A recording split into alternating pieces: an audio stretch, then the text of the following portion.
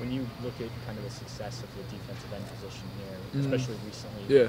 Joey, Nick, Chase, Mhm. that core, that group, you know, what does it feel like to now officially be a part of that? I mean, you've been a commit for a long time, Yeah. but now you're here, and now you're you're kind of in that that legacy room. Yeah, well, that's part of it. That just shows you uh, what Coach Jay has done for the program, especially the defensive end position, and um, I hope to continue that legacy.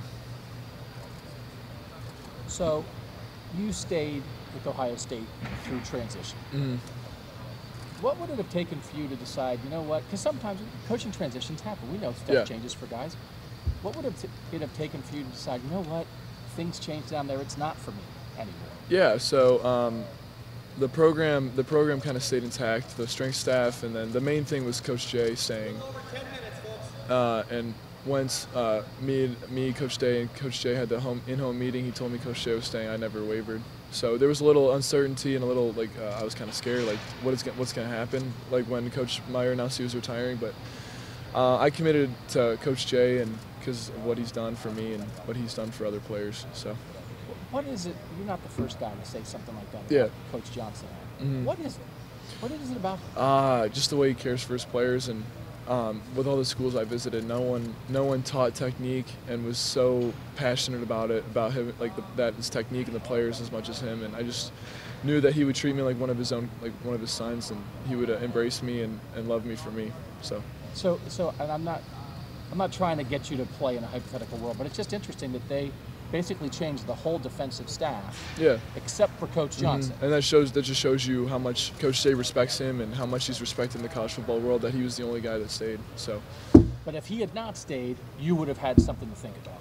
Oh yeah, for sure. I mean, I, I had something to think about even with him staying. So I just, but I, um, as soon as uh, he told me he was staying, because you always gotta, you always gotta look at every situation and the, the outcomes of those situations. But um, he told me he was staying, and I was, I was happy about that.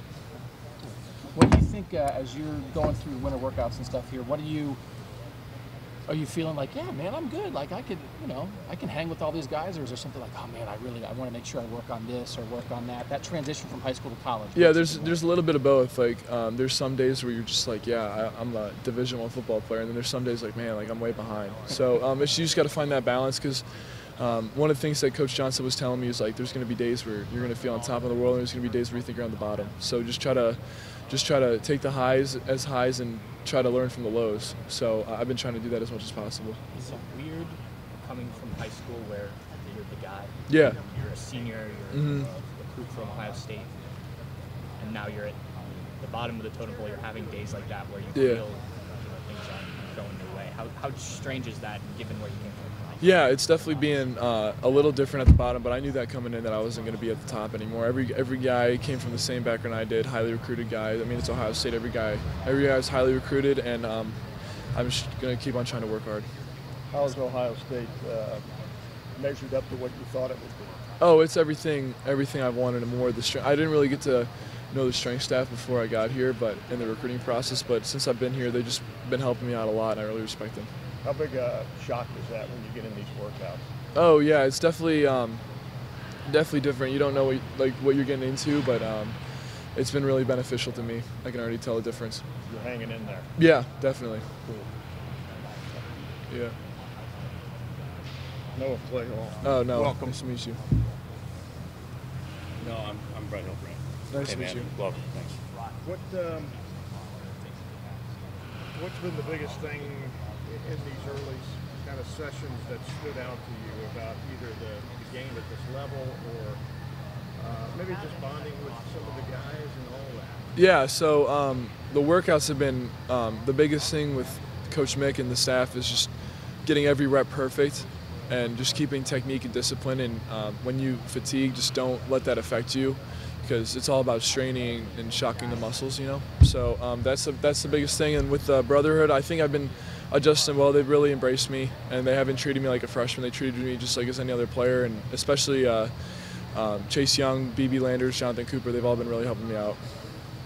How do you think Justin's adjusted for a guy who's still sort of you know, up in the air on his eligibility? Yeah, so um, I've talked to him about it. He doesn't know what the decision is, but um, he uh, he's been he's been handling it well.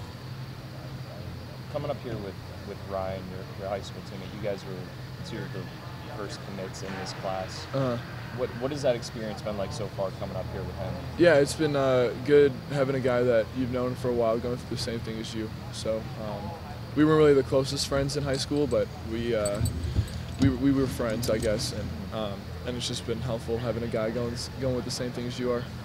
Coming up here with Zach too, getting Zach on early signing day. Uh, What's what, what does he bring to that room with you coming into this class at, at that position, defensive end? yeah, we're uh, me and Zach we're gonna wreck some offensive tackles for the next couple years. Uh, I'm really I'm, I mean I was excited because uh, he's a good, he's a great player and um, just me and him together we're gonna we're gonna do some damage.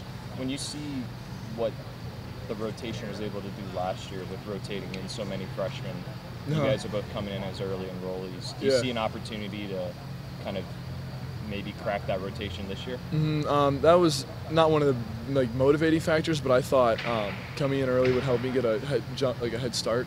And um, I know what I can do, and um, I'm not scared. I, I I'm ready for the competition. I'm uh, ready to show what I can do.